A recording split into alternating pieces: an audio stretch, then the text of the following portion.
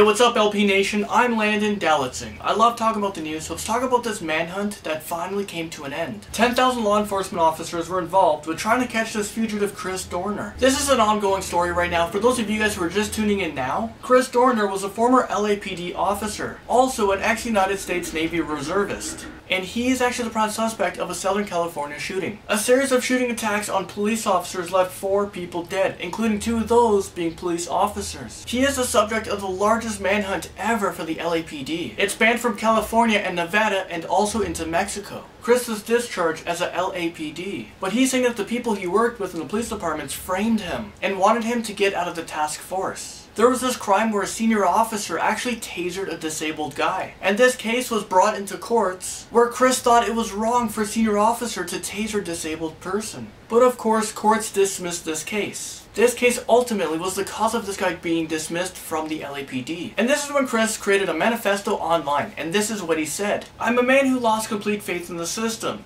when the system betrayed, slandered, and labeled me. So this is what he said he was going to do on the manifesto. He was going to go to every officer that was involved with this case, but not only them, he was going to kill their families as well. Until the truth comes out, he's going to slowly kill police officers and civilians. What do you guys think of this story? There's a space rock, which is called an asteroid. Well, it's about to hit Earth. Well, not really, but it's about to come the closest it's ever been to contacting Earth. They're calling this asteroid 2012 DA14. The asteroid is guessed to be around 130,000 tons, and it can be worth worth about $200 billion.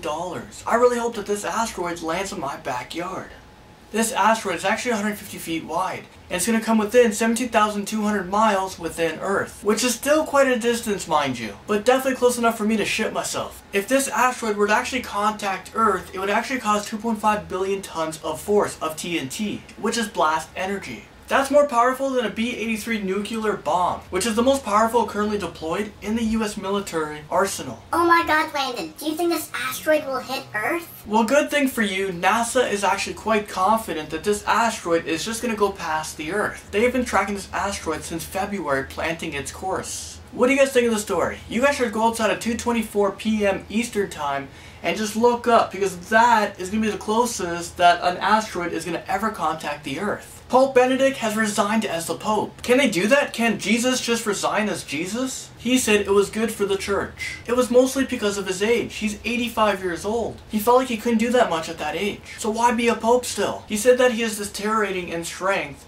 and the physical and mental demands he wasn't able to maintain anymore. I mean, what are they gonna do? He's gonna sit down and all of a sudden he needs someone to like put his hand up to like start waving to people? In modern times, the Pope, well, you were the Pope pretty much until you died. Pope Benedict will become the first Pope to have resigned voluntarily since Pope Celestine V in 1294. Do you guys think that the Pope should have just stayed Pope until he died? Even if he wasn't capable of really doing much? Anyways, guys, that's all the stories I have for you guys today. Hopefully I didn't scare you about that asteroid that's gonna happen. Let me know what you guys think of any of the stories I've talked about in the comment section below. And if you guys want to read more about any of the stories that I've talked about today, just click any of the links in the description below. I'll see you guys tomorrow.